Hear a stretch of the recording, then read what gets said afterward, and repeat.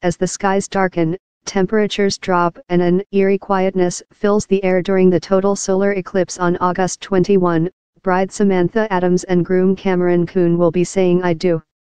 The couple is holding their midday wedding ceremony in the Path of Totality in St. Joseph, Missouri. It is perfect. It is totally 100% us, the astronomy loving bride told ABC News.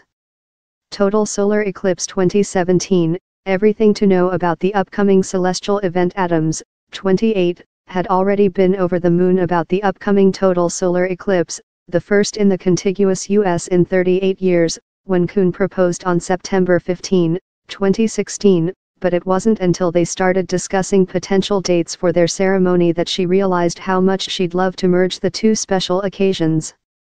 I was telling everybody about this eclipse coming up, the bride recalled. He was not surprised he was marrying someone that wanted to get married during an eclipse, on a Monday. Ever since Adams was in third grade, she said she's been mind boggled by space, even wanting to become an astronaut until seven knee surgeries derailed those plans. The bride-to-be even has a tattoo on her forearm of a minimalistic version of the Voyager spacecraft. Kuhn, 27, said it's amazing how well the eclipse worked out for their upcoming nuptials.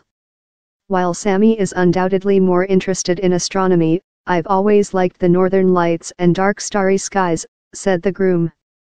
We'd talked about someday road tripping to see a full eclipse but never imagined we'd get to merge our special day with such an awe-inspiring event.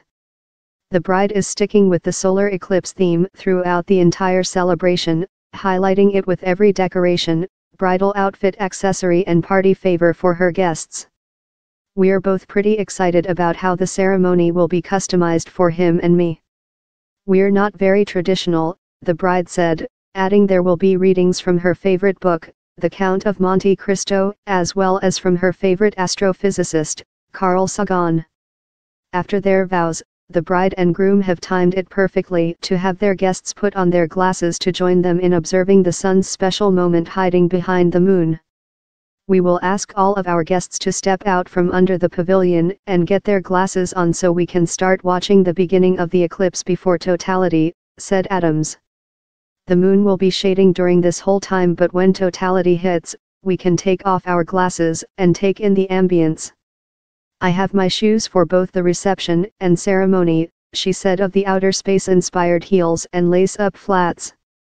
Adam's bouquet will be white roses with glitter and rhinestones on them, with cascading blue and purple dendrobiums pouring out of the roses so they're spacey looking. The bride and her family have been crafting galactic-themed centerpieces such as glitter-filled mason jars and fuchsia-colored tea light candle holders to help illuminate the tables. They also ordered 500 origami silver stars that will light up for an out-of-this-world experience.